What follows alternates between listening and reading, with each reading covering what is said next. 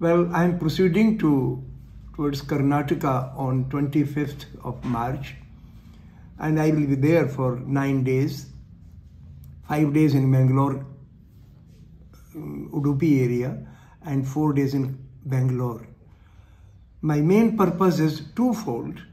Number one, I want to awaken the conscience of the electorate that they should not be carried away by prejudice Rather, this is a very important election where you have to assert or bring back the authority of assembly, which has been severely curtailed by the sectarian state that relies more on administrative officers, IAS officers, and less on representatives or MLAs. It also saw a defection, a very brutal and manipulative defection and change of regime in the state. So I think electorate should be conscious of this.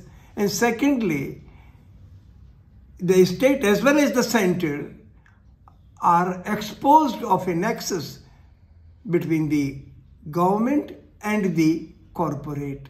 This nexus must be broken and so this election is very important. I want to make the people conscious of it and then install a government that is free from prejudice, from partition or sectarian assertions like hijab unnecessarily created to malign the education system and also Karnataka is a place which is the biggest hub of information technology in Bangalore and the total revenue the state gets is about 60% from Bangalore itself. Whereas the farmers in many areas are committing suicide. So this is a place where farmers, farmers require a special attention. So this kind of government should be there. So this is one part of my uh, uh, objective. Second objective is to reach out to the students and teachers and ask them to liberate the campuses from sectarian attitude or any sorts of pressure or restriction on free thinking. This is the 75th year of independence. We should respect our freedom fighters rather than maligning them for fictitious and mythical controversies. So I want people to be objective and especially pay full attention to the mass movement of struggle led by Gandhi after 1915. Second thing is that I would like to speak on science and freedom because science has been a double-edged weapon. It has been suppressive of freedom as well as it has been a liberator also.